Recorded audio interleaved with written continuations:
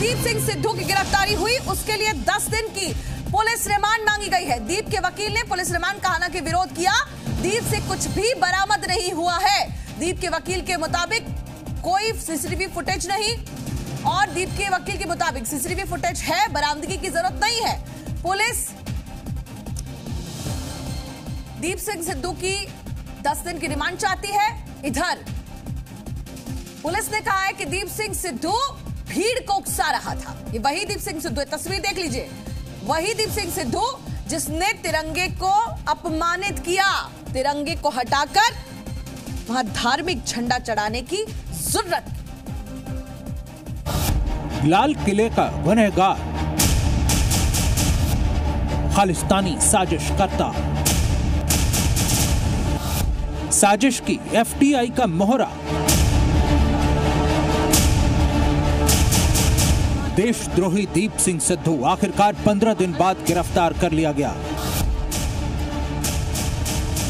ये वही दीप सिंह सिद्धू है जिसने लाल किले के सम्मान को ठेस पहुंचाई। ये वही दीप सिंह सिद्धू है जिसने लाल किले पर तिरंगे के आगे धार्मिक झंडा लगाया। ये वही दीप सिंह सिद्धू है जिसने लाल किले पर लोगों को भड़काया।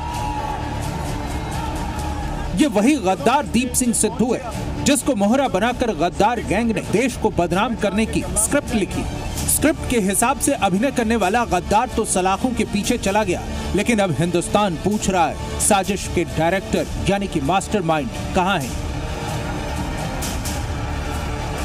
लाल किले लाल किले में जिस तरह से हिंसा और उपद्रव मचा गया था उसमें इसने ये इसका प्रमुख भूमिका था। और अभी इन, इसके अन्य साथियों के ऊपर भी हमारी टीम धरपकड़ करने में प्रयास जारी है। क्या दीप सिंह सिद्धू की गिरफ्तारी के बाद हर साजिश से पर्दा हटेगा? क्योंकि गिरफ्तारी के साथ ही उसका कनाडा कनेक्शन तो सामने आ चुका है। अब मास्टरमाइंड के चेहरे भी सामने आएँगे। हम पर्टिकुलर किसी के नाम में नहीं जाना चाहते हैं।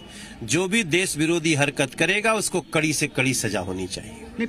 योगेंद्र यादव जैसे लोग किसान थोड़ी हैं। शाहीन बाग में भी खड़े रहते हैं, ये कोई छोटी सी प्रदर्शन होती है, उसमें भी ये, यही यही लोग आंदोलन जीवी हैं। गद्दार दीप सिंह सिद्धू, जुगराज सिंह, लखा सदाना जैसे देशद्रोहियों के 26 जनवरी कांड के बाद आंदोलन का सच देश के सामने आ गया। हिंसा न होने की गारंटी लेने वाले योगेंद्र यादव दर्शन पाल जैसे चेहरों के मुँह पर कालिक पुत गए। लेकिन राकेश टिकैत क्रोध होकर किसानों को ब्लैकमेल कर आंदोलन को ज़िंदा रखने की कोशिश कर रहे हैं। तो क्या उसकी वजह भी साजिश की एफडीआई है?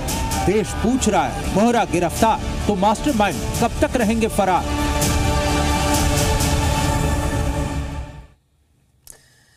मोहरा गिरफ़्तार, साजिशकर्ता मास्टरमाइंड कब? होंगे गिरफ़्तार। यही सवाल, क्योंकि इस वक्त एक और बड़ी खबर सुन लीजिए। इसी पर बहस करूँगी, लेकिन लाल किला हिंसा केस में दीप सिद्धू को पुलिस रिमांड मिल चुकी है। सात दिन की पुलिस रिमांड पर है दीप सिद्धू अब। पहले दस दिन की रिमांड मांग रही थी पुलिस, लेकिन दीप के वकील ने कहा कि सीसीटीवी फुटेज है, कोई चीज़ बरामद नहीं हुई है, इसकी ज़रूरत नहीं है रिमांड का, विरोध कर रहे थे, लेकिन अब दीप सिंह सिद्धू की पुलिस रिमांड सात दिन की मिल चुकी है।